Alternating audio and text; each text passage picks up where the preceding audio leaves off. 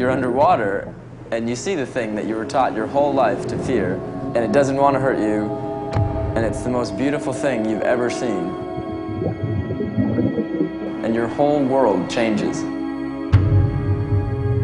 The one animal that we fear the most is the one we can't live without. Nature created them for a reason. Now human beings just, they don't care. There's no campaign like a Greenpeace campaign to save the sharks. They're the scourge of the ocean, and everyone should go and catch one. Future generations are going to think of us as barbarians. I needed to know why people were killing sharks and what I could do to stop it. So I embarked on a journey that would change my life forever.